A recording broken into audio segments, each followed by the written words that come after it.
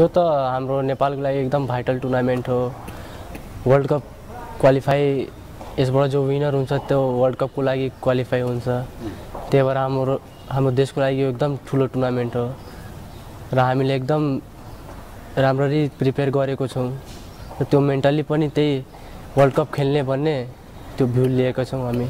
Team wise हाम्रो एकदम batting lineup पनि एकदम राम्रो छ। एउटा एकदम ब्यालेन्स टिम छ भनौँ। सबले आफ्नो बेस्ट दिन्छन् भन्ने आशा राखेको छु। एज अ त्यहाँ कुवेतमा त फ्ल्याट ट्र्याक नै हुन्छ। त्यही भएर हामी म्याक्सिमम् त्यो स्पिनरहरूको स्पिनरहरू राम्रो छ हाम्रो टिममा। स्पिनरहरूले राम्रो गर्ला।